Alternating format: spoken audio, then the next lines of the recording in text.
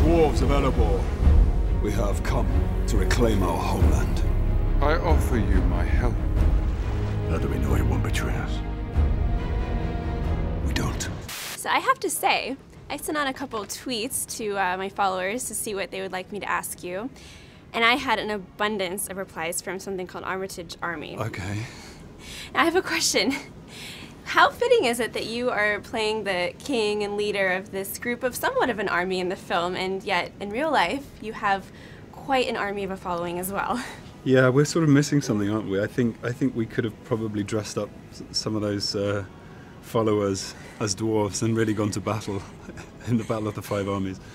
Um, uh, they've been around for a while, so um, they're, they're incredibly supportive of, of my work, and I often go and do a bit of research uh, online because they can be so informative about the characters that I'm playing. I don't have to go to a library; I just go to the Armitage Army. When did you first become aware of this army that you're the leader of? Um, it's I don't know. It's so it's slowly formed over the over the past ten years, but um, I don't know too much about it other than when you say that to me. I have a question. You did an interview. You said you'd like to see there be a Thorin cocktail. What is in your ideal Thorin cocktail? Um, I don't know at the moment. I think it's I think it's quite a short drink. Okay, it's a Uh, short one. It's a short Maybe drink. a shot. It's it's maybe a shot. It's quite it's quite heady and intoxicating. Mm-hmm. Yeah, and it bites you on the back of the throat. and you like to get your whole army drunk with it. Yeah, all of them. I have the only right.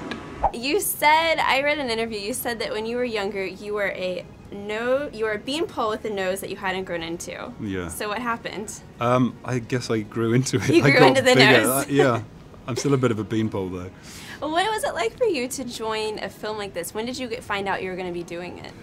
Um, I found out la- um, uh, October 2010 or 11, I think. Okay. Um, yeah, it, it was a real surprise that I was being asked to come and read for a role of a dwarf. Um, I've spent most of my life not being cast because I'm too tall, How tall are you? six foot two and a half. Six foot two and a half. Okay. Um, so I, I really didn't think it was going to go anywhere. Um, but then, of course, Pete does his magic, and I thought, well, he's going to, you know, do some digital digital trickery. So just focus on the character, and it was a character that I really enjoyed re- reading the book as a child. So we took it from there. I mean, how surreal is it to be playing a character that you read as a child yourself and the whole series?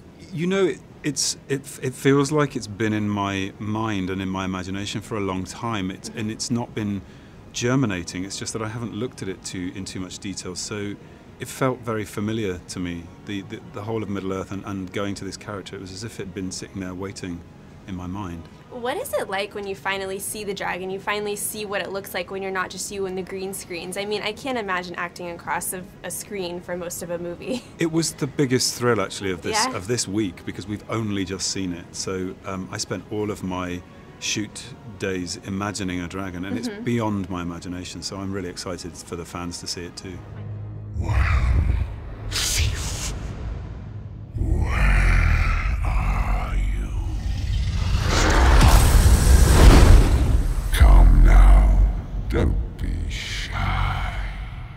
Step into the light.